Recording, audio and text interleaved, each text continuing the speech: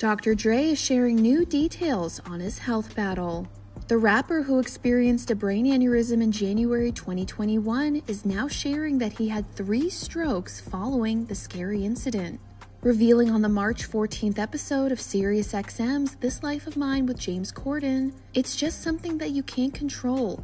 That just happens, and during those two weeks, I had three strokes. Dre, whose real name is Andre Rommel Young, goes on to recall the day it all happened, saying that he first grew concerned about his health when he woke up that fateful day in January three years ago with pain in one of his ears. Saying, I got up and I went on about my day, and I thought that I could just lay down and take a nap.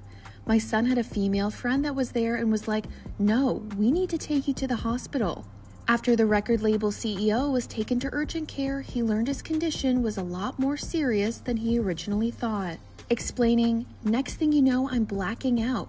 I'm in and out of consciousness, and I ended up in the ICU. I was there for two weeks. I'm hearing the doctors coming in and saying, You don't know how lucky you are. A day later, the record producer took to his IG thanking his friends, family, and fans for their well wishes during his recovery process, as well as giving a shout out to his doctors at Los Angeles' Cedar Sinai Medical Center.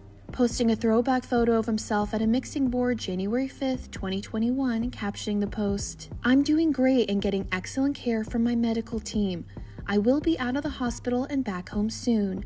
Shout out to all the great medical professionals at Cedars. One love. Since the brain aneurysm, which happens when an artery in the brain bulges and fills with blood, according to the National Institute of Neurological Disorders and Stroke, the 59 year old has been working on keeping himself healthy by lifting weights, running, and monitoring his blood pressure to avoid any future episodes. Telling host James Corden that the incident made him, quote, appreciate being alive. Reflecting on the medical emergency, saying, it's crazy. So now knowing that I had no control over that, it's just something that could happen out of the blue. You wake up and go, okay, I'm here.